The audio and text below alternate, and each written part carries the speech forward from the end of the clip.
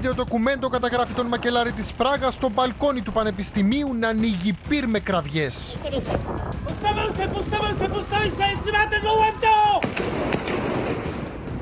Σε μια προσπάθεια να το αποσπάσει την προσοχή, αστυνομικός του φωνάζει και τον προκαλεί. Ωστόσο, μάντεα.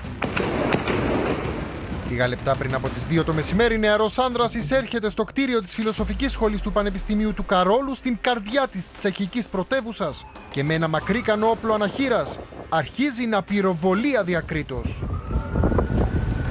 Στην περιοχή επικρατεί χάος με τις δυνάμεις ασφαλείας να αποκλείουν ολόκληρο το τετράγωνο.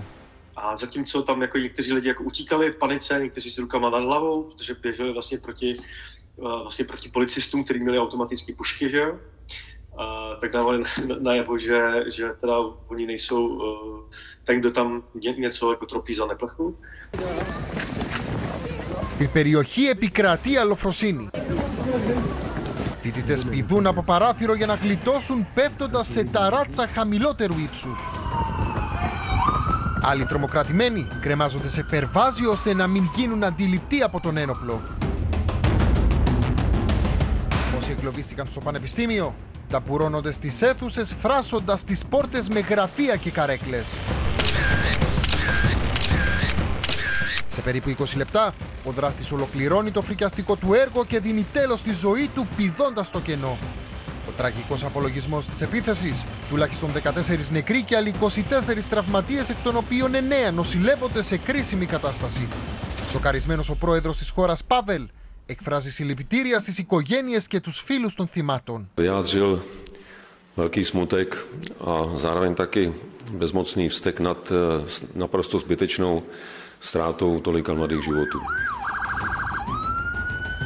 Πρόκειται για τη χειρότερη μαζική δολοφονία από ίδρυση στη Τσεχία στο 1993 που έρχεται χριστουγεννιάτικα να αντίσει τη χώρα στα μαύρα. Si státní smutek, tedy 23. prosinec, bude dnem státního smutku k uctění památky oběti bezprecedentního útoku střelce v Praze.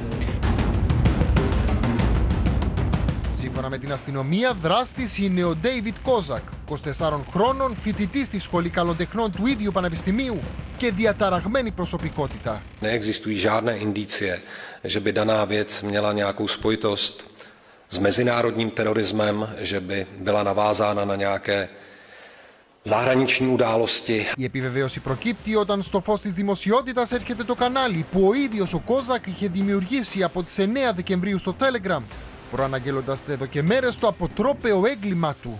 Θέλω να προχωρήσω σε ένοπλη επίθεση σε σχολείο και ίσως σε αυτοκτονία. Πάντα ήθελα να σκοτώνω.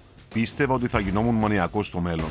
Τότε, όταν ο Ήλνας έκανε τους πυροβολισμούς, συνειδητοποίησα ότι ήταν καλύτερο να κάνω μαζικές δολοφονίες παρά κατά συρροήν δολοφονίες.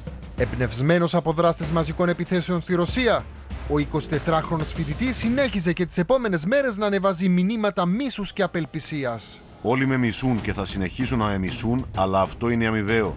Μισώ τον κόσμο και θέλω να αφήσω όσο περισσότερο πόνο γίνεται. Δύο μέρες πριν από το μακιγιό, πληκτρολόγησε την τελευταία του ανάρτηση.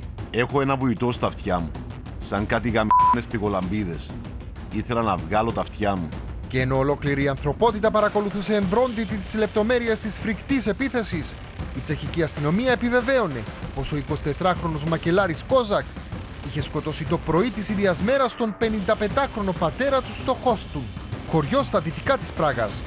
Μηνύματα συμπαράστασης και αλληλεγγύης προς τον λαό της Τσεχίας έστειλαν πολλοί ξένοι ηγέτες.